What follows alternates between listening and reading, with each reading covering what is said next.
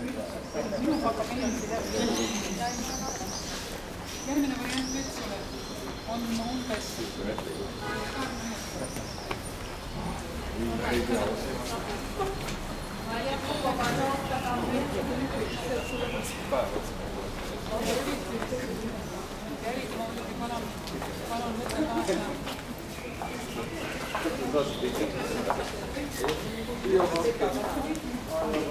Thank you.